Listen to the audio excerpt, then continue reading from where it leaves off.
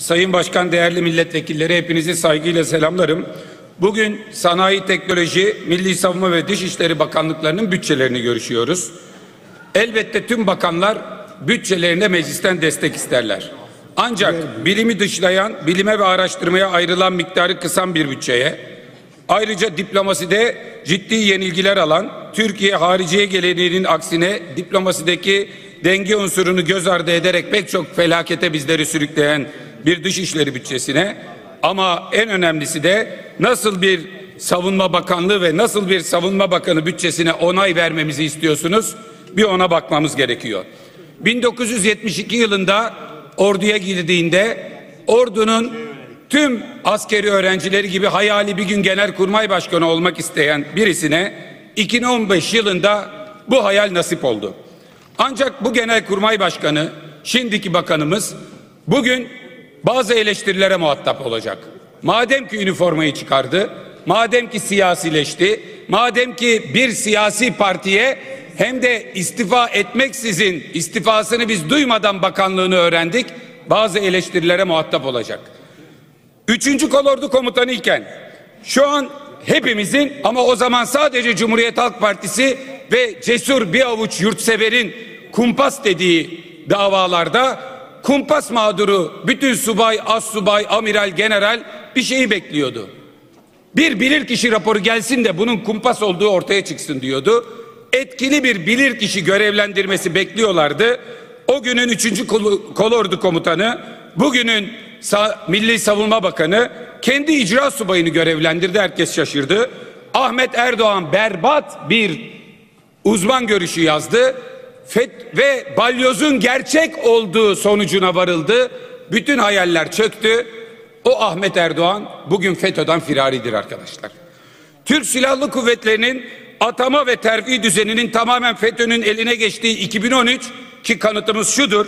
15 Temmuz'da 2013 yaşında general yapılan 25 tane Karaca albayın 15 tanesi amiral yapılan 9 denizci albayın 8 tanesi 15 Temmuz'un ertesi günü sürülmüştür. O yaşta beklenen Kara Kuvvetleri Komutanı Orgeneral Bekir Kalyoncu'dur. Ama tüm beklentilerin ve teamüllerin aksine şimdiki Milli Savunma Bakanı atanacaktır. ABD'nin aleni bir şekilde YPG'ye silah vermeye başlamasından birkaç ay sonra 2003 yılında Mehmetçiğin kafasına Süleymaniye'de çuval geçiren Odreno'dan bugünkü Milli Savunma Bakanımız Üstün Liyakat Lejyonu madalyasını almıştır. Bu Mehmetçiğin kafasına çuval geçiren Amerikan komutandan o çuval olayından yıllar sonra ve YPG'ye silah sevkiyatı başladıktan haftalar sonra. Şimdi kimden bahsediyoruz? 15 Temmuz günü saat 16'da darbeyi haber alıp darbeye karışanların oranı yüzde bir buçuk, karışmayanlar 98 buçukken eski bütün mevkidaşları, genelkurmay başkanları kimse birliklerini terk etmesin emri verilseydi 98 buçuk oradayken o bir buçuk darbeye karışmazdı derken darbeye karışmayacakları evine yollayıp karışacaklara kışlaları teslim eden birinden bahsediyoruz. Kimden bahsediyoruz arkadaşlar? Yeni Şafak'ın Yeni Şafak'tan okuyup da yere göre sığdıramadığınız bir gizli tanık var adı Abdullah. Abdullah diyor ki kara havacılık davasında açık açık onun söylediği herkesle FETÖ'nün en önemli damarı deşifre edilmiş. Yeni Şafak yazarları Abdullah'ı yere göre sığdıramıyor. Abdullah şöyle bir ifade kullanıyor. Kayıt altında bu. Hulusi Akar bizim kardeşimizdir. Şu ana kadar çok hizmet hizmetler yaptı. Bundan sonra da esas büyük bir hizmeti olacaktır. O hizmeti hepiniz göreceksiniz. Çok büyük bir hizmet olacak demiş biri Abdullah kim? Fethullah Gülen söylemiş. Bunu ben söylemiyorum. İtibarlı gizli sanığınız Abdullah söylüyor. Ve rejime kasteden bir anayasa değişikliği hayata geçmek üzereyken bununla ilgili muhalefet partileri aday arayışı içindeyken MİT Başkanı ile birlikte helikopterle bir önceki Cumhurbaşkanı'nın bahçesine inip o seçime apoletlerin ve o seçime militarizmin gölgesini düşüren birinin şu anda Milli Savunma Bakanlığı'ndan bahsediyoruz. Madem ki çıktı üniforma eleştiri olacak Sayın Bakan. Demokrasilerde Milli Savunma Bakanı da eleştirecek, Genelkurmay Başkanı da eleştirilecek. Ama en önemli eleştiri şu. En önemlisi kahraman yurtsever arkadaşlarınız da varan kusurlarınızla dava arkadaşlarınız, mücadele arkadaşlarınız, silah arkadaşlarınız, sizinle omuz omuza ölmeyi göze almış arkadaşlarınız hepsi cezaevindeyken en büyük eleştirileri bizzat bana, Vela Baba'ya ve Nurettin Demir'e dönemin cezaevi komisyonu bizi bir kez bile ziyarete gelmedi sitemleri ve Maltepe cezaevinde hayatını kaybeden Murat Özenalp'in cenazesine bile katılmamanız varken yapmadığınız ziyaretler ve katılmadığınız taziyeden sonra iki tane yaptığınız ziyareti size sormak isteriz. Bir, Nuri Pakdil. 1923 değerlerimizden kopma dönemidir. Alkışlayın. Atatürk'e Firavun diyen Nuri Pakdil'i ziyaretiniz grubunuzdan alkış alıyor. Biz de bu grubu alkışlıyoruz arkadaşlar.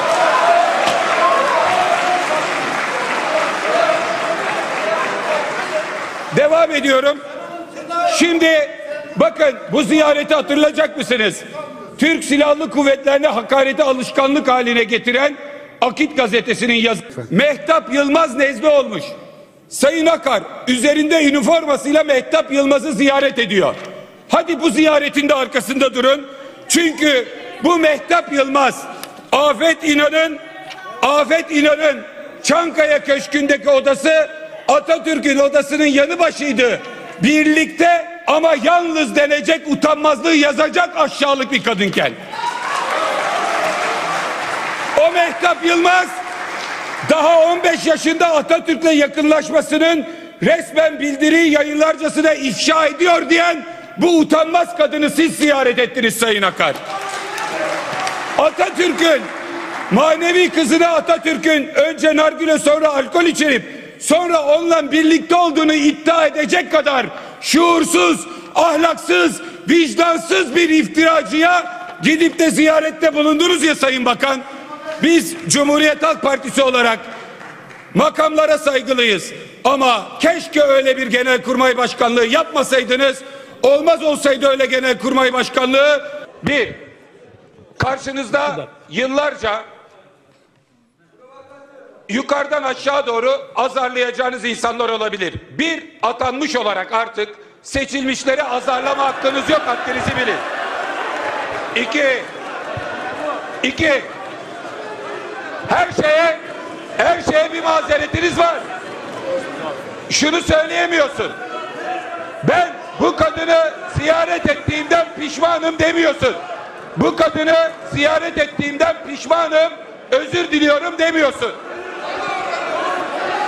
Dur, dur. Bekle. Lütfen İki sayın milletvekilleri Benim atamamın yapıldığı yaşın 9'da 8 amirali 15'te 9 generali FETÖ'cü çıktı demiyorsun. Çıkmadı demiyorsun. Sen sen balyoz Ergenekon Bakan, mıntıka lütfen. temizliği yaptı. Ben otobandan ilerledim. Onu söylemiyorsun. Diyorsun ki senin gibi bir grup başkan vekili olmasaydı. Şimdi son sözüm şu. Son sözüm şu. Sayın Genel, Sayın Hulusi Akar. Benim Söz partime bak. Onların içinde bir tane bile keşke Özgür Özel gibi grup başkan vekili olmasaydı diyen yok. Ama senin silah arkadaşların sana hakkını helal etmeyerek öldüler. Hakkını helal etmeyerek öldüler. Sen silah arkadaşlarının bedduasını alan adamsın.